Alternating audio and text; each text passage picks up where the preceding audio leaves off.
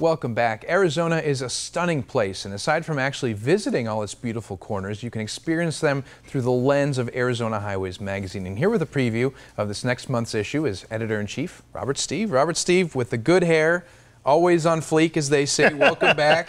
what do they say? Always on, on fleek? fleek? Oh, I haven't heard that. Yeah, well, you'll have to use that I'll from now Google on. that. Put that on your Facebook, on your Twitter.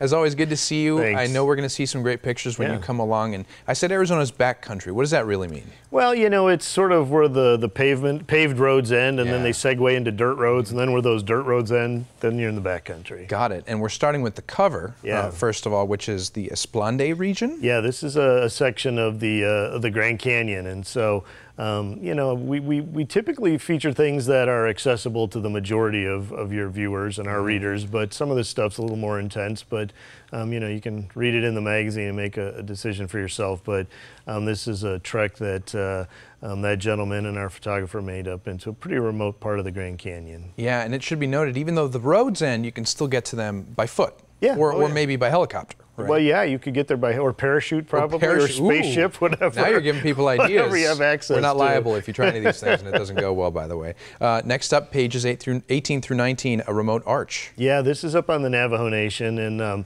you know there's a lot of spectacular scenery up on, on the Navajo Nation. You do need a permit. You can't do anything in the backcountry without a permit. So you know we strongly encourage you to, to make sure you get those things taken care of. But you know if you get out and, and ideally you know you go out with a guide, and the, the, the Navajo Nation is uh, has a lot of opportunities where you can have somebody take you out there, and that's that's probably the best way to do it. Right, and this picture is striking. I mean, just look at the difference between the dark and the bright. I mean, they call that HDR in the business, right? When Mm-hmm. a you got little both. bit, yeah. It's a it's a beautiful shot. They caught the sunlight just just right. Just glowing red. Up next, Kofa National Wildlife Refuge. Actually, I think we're up in uh, Workman Falls. I skipped one, You you're skipped right. one, Workman. you, Alex. Ah, yeah. yeah. Well, you know, it's like you know, we, you and I were just talking off camera that that it's uh, almost September, and, and and in Arizona, fall starts happening around the end of August, early September. So this is up in the uh, Tonto National Forest, and it won't be too long, and we'll start seeing some color up in that that area. Those leaves start changing. Reminds me up there in uh, Mount Lemmon. You know, Yes. when you start hiking, uh, you know, near the Gulch, Yeah, Marshall's Gulch yeah. there, the colors start changing. It's just gorgeous.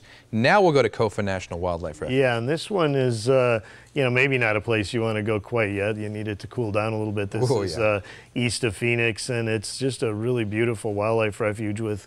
Um, there's a lot to see there. I mean, it, looks pretty remote and rugged. There's not a lot of trails in there, so exploring it uh, does require some backcountry skills in terms of understanding how to use a GPS and, and a compass. You know, by the way, GPS are great, but always take an old-fashioned compass along too. Batteries die and things like that. So, and of course, plenty of water. Technology, you know, you can't live with it, can't live without it. It, it will fail. At, at some point, yeah. so well, have a, have a backup. Of That's course. right. Uh, there we see a nice monsoon sort of starting to form in that picture. And this next one is it Hagler or Heigler? Hagler Creek. This Hagler. is uh, central Arizona, up in uh, uh, along the Mogollon Rim there, Hell's Gate Wilderness. Just a beautiful spot. This one's actually pretty easy to get to. It is a dirt road, but you could do it in a in a station wagon if you if you wanted to. Um, but uh, there's a campground and fishing and things, but you can sort of bushwhack up along that creek and, and get your feet wet, as they say. Now, is this always flowing, or are there Yeah. certain parts of the year where it's not? Yeah, this okay. is a perennial stream up there, and um, uh, as you can see, it's it's it's not too shabby. Beautiful. Up next, uh, I'm pretty sure there's a meme about this on the internet. The double remember the double rainbow guy? Yes, I do. Someone actually captured this. This is way up north. This is uh, the, the where the rain the gold the pot of gold on the left there is going down into the little Colorado Gorge. Wow. So um, you're actually uh, right up on sort of the border of the Navajo Nation and uh, Grand Canyon National Park up there. But uh, just a beautiful panorama and a spot that uh, somebody with a camera happened to Just stunning. get the rainbow. They got lucky. They got that pot of gold. And last but not least, we're going to look at the back cover too. What do we have here? Yeah, this is uh, Ash Creek Falls, the Pinaleño Mountains uh, in the eastern part of the state over by uh, uh, Safford and that that area down there. And uh, just, uh, you know, we're, as you mentioned on, on the lead, you know, there's so many beautiful places to see and things to do in our state. Yeah. And of course, this just scratches the surface. Well, that's why I mean, so many people travel outside of the United States, outside of the, uh, even Arizona, to go see other countries. I'm like, there's so much in our own backyard that we have not even touched, have not even seen.